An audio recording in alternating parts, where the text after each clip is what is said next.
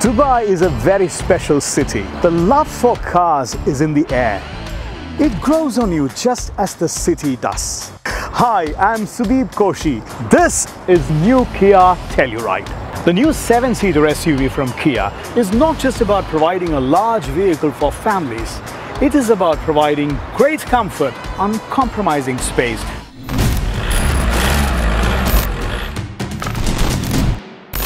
The Kia Telluride comes with a lot of smart features. Now look at that. When you turn on the indicator, the camera comes on on the, the driver screen. Very interesting features for the family. Are we there yet? Can be answered directly by the driver. Look at this. Snack stop coming up. So smile. Now when you do that, it is not just you, it actually rings out in the speakers in the rear. Telluride has an all-wheel drive and has a selector to choose from mud, sand and snow. Well, let's choose sand. Get some adventure done!